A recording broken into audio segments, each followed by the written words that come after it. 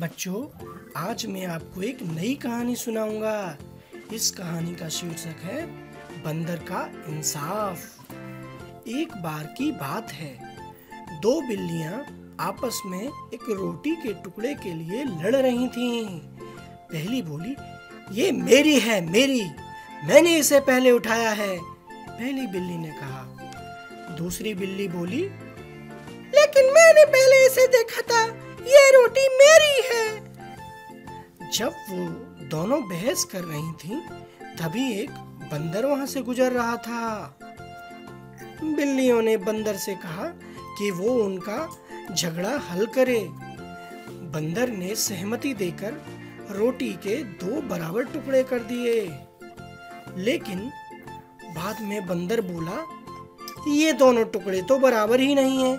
ये कहकर उसने एक टुकड़े में से एक छोटा हिस्सा खा लिया।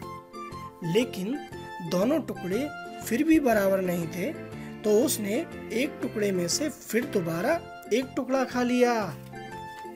फिर क्या था?